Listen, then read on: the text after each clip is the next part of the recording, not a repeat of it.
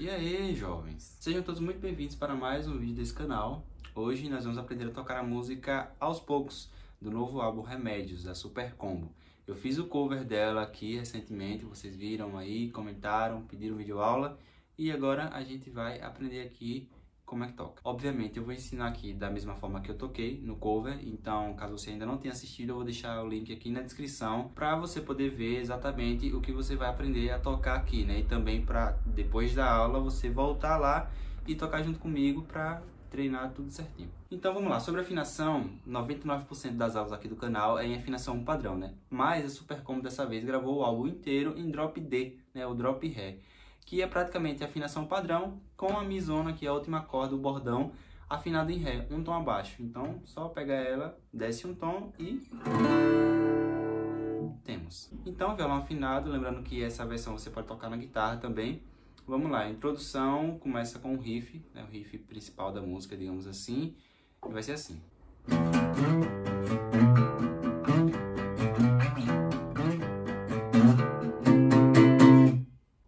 Riff vai começar aqui na corda Mi, que está afinada em Ré, mas eu vou falar Mi para facilitar a comunicação. Segunda casa. Aí aqui com o dedo 4, você arrasta da casa 5 na corda Lá para casa 7. Sobe de novo para a corda Mi, casa 5, casa 7. Toca da casa 7 e arrasta para casa 9. Solta até aqui.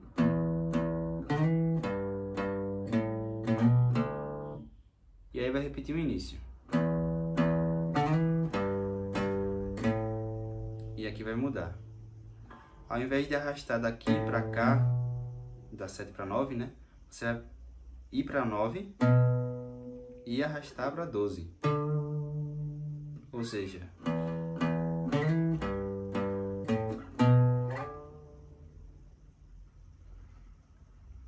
até aqui.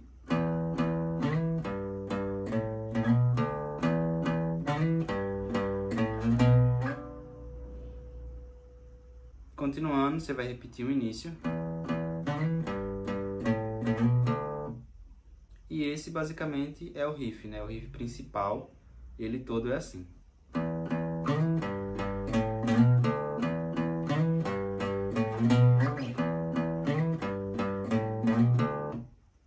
Encerrar a introdução, ele faz quatro batidas aqui nessa forma.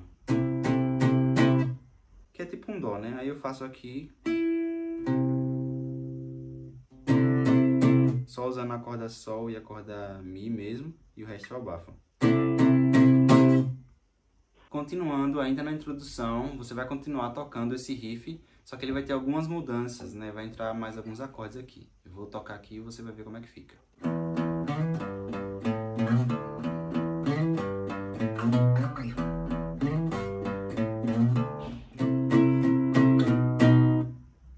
Essa é a principal e única mudança, né? Além do Dó aqui no final, você vai voltar uma casa, os dois dedos. E aí vai formar um Si, né? E repete.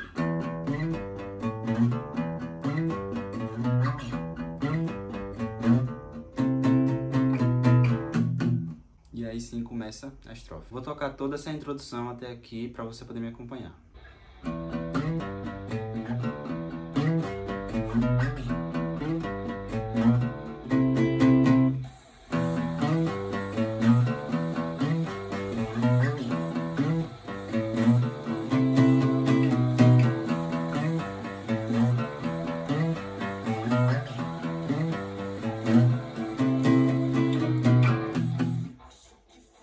Introdução também rola um riff, ele é mais agudo aqui, né, quando entra a banda, aí tem aquele riff, parece um solo, que eu acabei não tocando ele no, no cover, porque como era só um violão, eu não tinha, tipo, esse, tem muito efeito esse solo, né, esse riff, eu achei que ia ficar muito mais barulho do que música exatamente, sabe, tipo, ia ficar muito ruído. Fiz só o,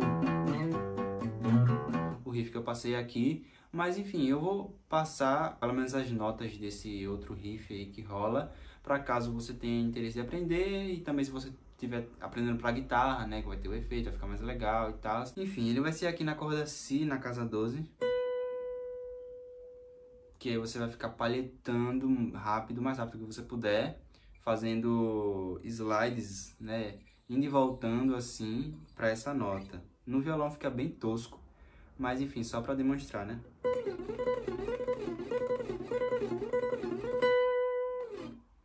E aí, só que não vai ser só isso, né? Vai ter uma outra nota aqui, vai ser assim.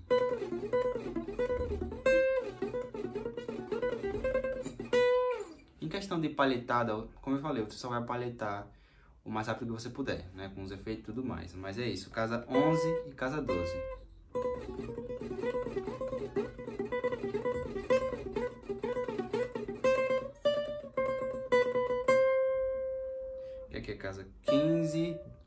13, 12, 13. E é isso, ele acaba aqui na casa 13, né? Mas é basicamente isso, né? Quando é que você vai tocar esse, esse riff, né, aqui? Começa só a guitarra, né, fazendo o riff que eu passei, e depois entra a banda toda continuando esse riff. Aí, em terceiro lugar, que entra esse esse solo aqui, esse, enfim, eu acho que é um riff, né? Entra só por último para poder entrar na estrofe. É isso. E aí finalmente entramos na estrofe da música, que vai ser o mesmo riff da introdução. Vai ter só algumas mudanças aqui, sempre tem algumas variações, né? Sempre tem algumas variações aqui, mas não é nada demais. Eu vou tocar aqui a estrofe né, para você ver que é praticamente a mesma coisa. Do outro detalhe que muda também é que você vai tocar mais abafado, né? Tipo porque é, hora da voz brilhar, né? Enfim.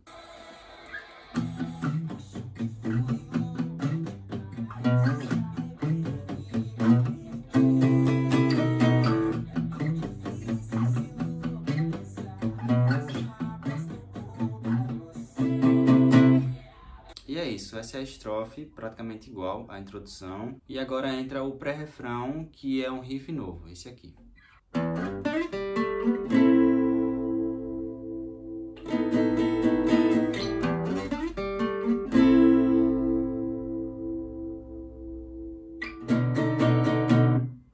Então, corda misona, casa 2, arrasta para casa 5. Aí aqui com o dedo 4 da casa 7 da corda Sol para casa 9. Corda Sol solta. Aí faz o mesmo movimento, só que na corda Ré. 7, 9.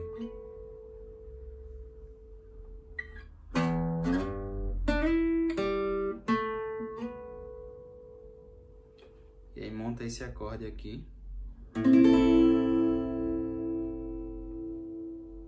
Depois volta uma casa ao dedo 1 um e 2.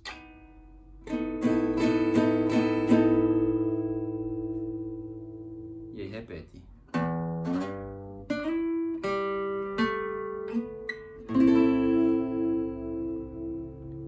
E aí espera, fica, deixa soando.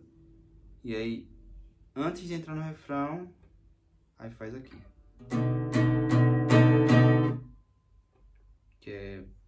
Volta ao dedo 1, uma casa aqui, e o dedo 2 vai lá para o baixo para fazer o Si, é na casa 9.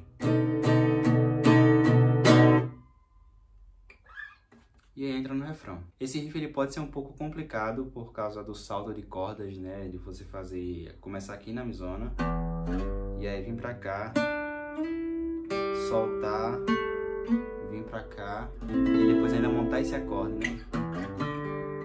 Ó, tá vendo? Corre o risco de não funcionar, você sair esbarrando em outras cordas, né? Então treine ele bem lento. Sempre que você tiver dificuldade em executar alguma coisa, tenta treinar lento. Provavelmente vai ajudar bastante.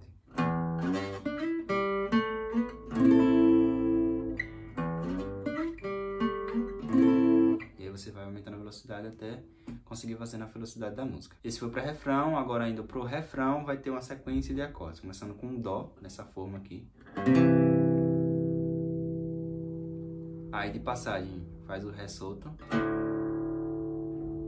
e vai para o mi. De passagem faz o fá sustenido e vai para o sol. Sempre as três cordas de cima, né? De passagem faz o lá e vai pro si.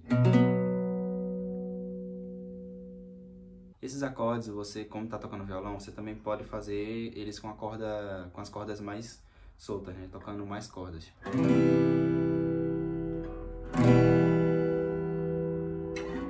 O sol aqui. Lá. E si.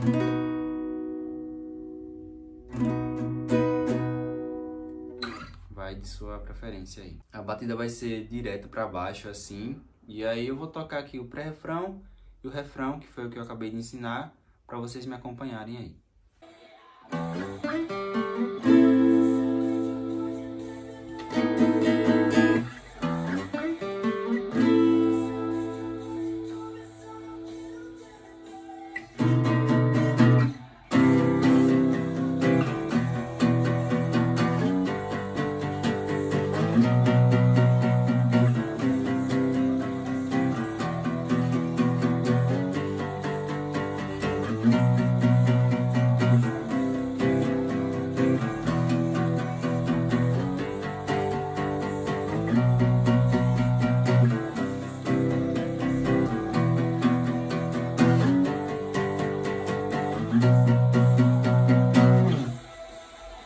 Refrão, você vai fazer a introdução novamente, o riff, né?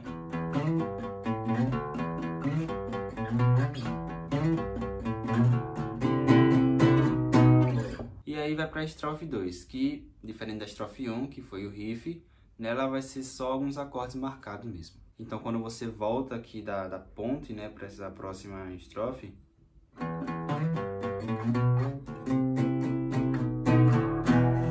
já cai aqui no você pode deixar ele suando. Depois você vai fazer um simples Lá maior aqui. Pode até só tocar essas três cordas mesmo que você está pressionando. Só para marcar, deixar suando. Depois um Dó com nona. E depois um Lá só até a quinta aqui, tipo só. Só essas três cordas.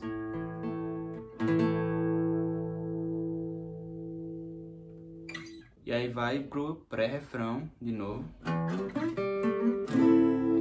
Essa parte e aí entra o refrão novamente. Aí vai ser igual. E aí depois desse segundo refrão vai para a parte C, que não, apesar de ser uma parte C, não vai ter mudança em relação ao tocar. A gente vai fazer o mesmo riff, né, o principal. Essa vai ser a base da, da nossa parte C. Então eu vou tocar ela aqui, tipo, e vai rolar o abafado também. Vou tocar ela aqui só para você poder me acompanhar aí e ver que não tem tantas mudanças assim.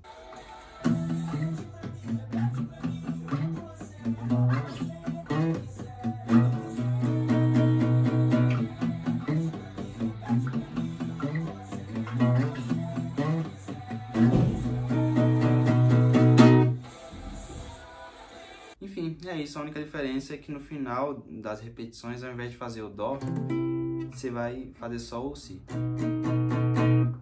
E aí vai entrar no refrão final, que ele vai ser tocado da mesma forma que os outros refrões. A diferença é que estamos falando da super combo, então o tempo, algum, em alguns momentos você fica um pouco diferente. Mas enfim, na verdade isso do tempo meio quebrado é só mais no final mesmo. Eu não sei se vocês tiveram, já tentaram tocar essa música e tiveram essa dificuldade de entender a passagem do último refrão pra a parte final, que é só um instrumental, tipo, enfim, até acabar a música, sabe? Tem uma passagem ali que eu ouvi pela primeira vez e eu, cara, eles comeram algum tempo aqui, eu, eu não entendi de início. Eu fiquei ouvindo várias vezes para conseguir criar uma contagem para entender e, e, sabe tocar no tempo. Enfim, eu vou tocar esse refrão final aqui, os acordes são os mesmos, mas eu vou tocar ele para quando chegar nessa parte você perceber e ver que tem uma quebrada assim.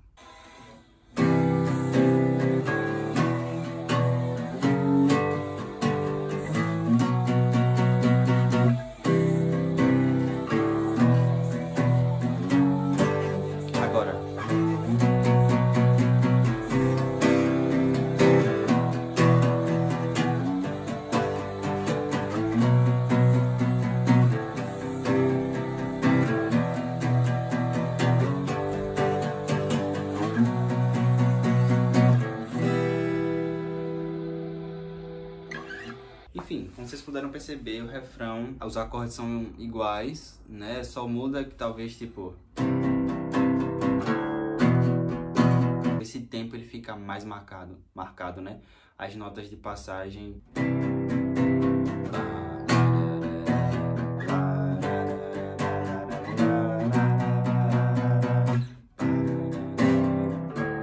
Enfim, e naquele final, né, que eu falei que tem o tempo meio estranho, tem um segredo para você conseguir tocar e não perder o tempo, que é quando você chegar no si, nesse refrão a gente toca sempre para baixo, né? Você vai contar sete batidas para baixo.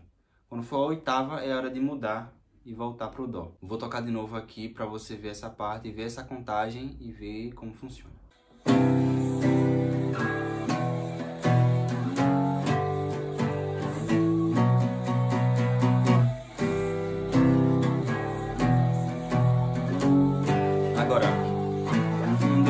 Cinco, seis, sete.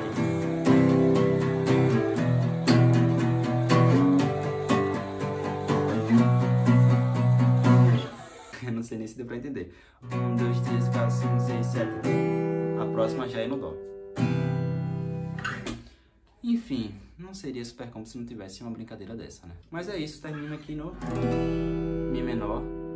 E essa foi aos poucos. Agora treine ela aí, cada parte, o riff lá, né, da, do pré-refrão, que é, tem um pouco mais de dificuldade. Treine cada parte aí separadamente, vai juntando e tal, para você poder ir lá no cover, voltar lá no cover, o link tá aqui na descrição, para tocar junto comigo. E aí depois é só botar o fone em casa, tocar com a música e ser feliz. Não esqueça de compartilhar esse vídeo, me ajuda bastante, né? Manda lá pro seu amigo que também quer aprender essa música, que deve ser nessa aula. Comenta aí o que você achou, comente se você teve alguma dúvida ou alguma sugestão de uma próxima música do álbum Remédios ou, enfim, até de outros artistas. Pode comentar o que você quiser e sugestões para os próximos vídeos. Eu acho que é isso, por favor, clique em gostei, claro, ajuda bastante a é, divulgar, espalhar o vídeo. Me siga no Instagram, tá aparecendo aqui na tela, porque lá eu tô ativo e tô postando várias coisas musicais e também, enfim, minhas palhaçadas lá. Eu tô fazendo intercâmbio, eu tô em Portugal nesse momento, então tá saindo muita coisa interessante lá. E é isso, se não é inscrito, se inscreva, seja muito bem-vindo essa grande família aí, maluca, da alegria. Enfim, é isso, muito obrigado por ter assistido até aqui e até a próxima.